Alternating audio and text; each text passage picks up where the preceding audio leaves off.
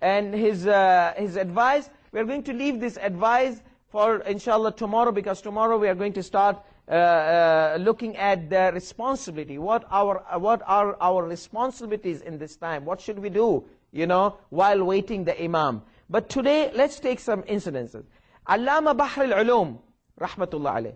This Bahr al-Ulum family is very well known. Very well.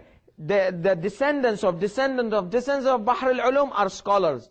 You will see in Najaf, there's so many. The whole family is called Ailat Bahr al-Ulum. Al Bahr al-Ulum. This man. So Bahr al-Ulum, he was a regular scholar. He was not, Bahr al-Ulum means ocean or sea of knowledge. He was not considered, he did not have this title. What happened? He used to have this uh, uh, amnesia type that he, whenever he memorizes, he forgets. Memorizes, he forgets. He, he asked Allah subhanahu wa ta'ala, and he did the tawassul of the Imam alayhi salatu wasalam, and he, he seek the help from the Imam, help me. I'm memorizing, I'm trying to study, but I keep forgetting.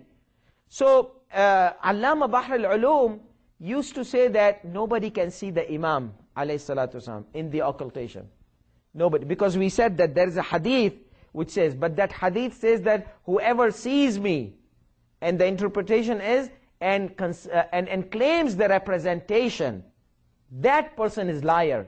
فَمَنِ ادَّعَ الْمُشَاهَدَةِ means mushahada means he, he, he says that I saw Imam and he gave me the representation. That person is the liar not any other person. If you get blessing, you get blessed with meeting the Imam, either in your dream, either in your reality, that is the Imam. Because we have plenty of ahadith of Ahlul Bayt, alayhi salatu wa narrate, Man ra'ana, kana kaman ra'ana haqqan. Whoever sees us, as he has seen us in truth, in reality. فَإِنَّ الشَّيْطَانَ لَا يَتَمَثَّلُ بِنَا Shaitan does not take our form. Shaitan. If someone comes into your dream and tells you that he's your imam, he is your imam. He's not shaitan. Shaitan cannot take the, uh, the body of imam or shaitan cannot even pretend that he's imam or he's the prophet. So our uh, Imam Ali Salam comes in the dream. So Sayyid, Sayyid Bahr al-Ulum rahmatullah alayh, he used to say, it is not possible to see the Imam. It is because the hadith says like that. that. After that, he started to interpret the hadith. Before, no, he used to take it literally.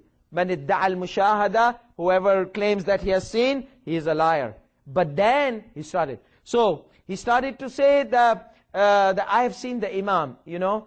And uh, the students, they say, Maulana, you are the one who says that nobody can see the Imam.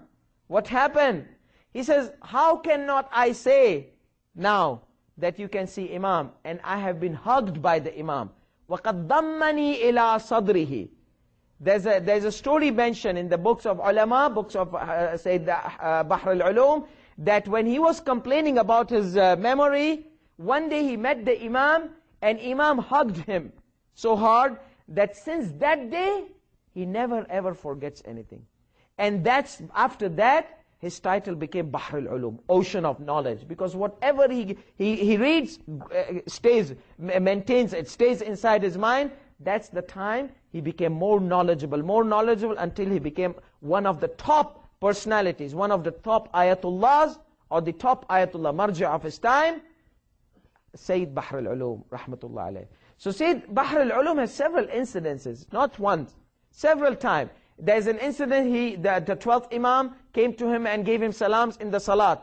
There's an incident about the aza, latmiyat, the people, they used to humiliate uh, certain types of uh, latmiyat and sina zani and all these kind of things. And, oh, these people, these Shias, they're crazy doing this.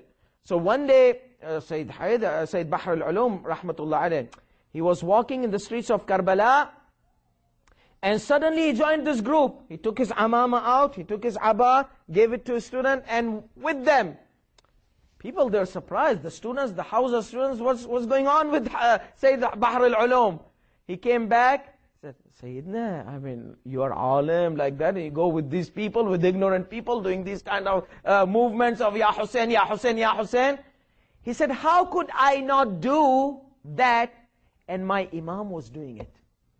My Imam was amongst them, grieving on my, my, my, my, Imam, my grandfather Hussein, because he's Sayyid. So he said, how could I not do like that? Who? Uh, I'm, I'm better than my Imam? No way. My Imam did that. I am doing that. So these, these, uh, the, the, these, these, these grieving sessions which comes out sincerely from your heart for the tragedy of Imam Hussein alayhi salatu wasalam, these are not, do not belittle it. The Imam participates in these kind of uh, gatherings. So, Sayyid Bahr al-Ulum rahmatullahi is one of those who saw the Imam several times. And he's Ayatullah al-Uzma, marji' of his time. We said regular people, huh? But these are not, not regular people. These are top people. Hundreds and hundreds of thousands of people, they used to do taqleed to Ayatullah Bahr al-Ulum, rahmatullah alayh. This is one.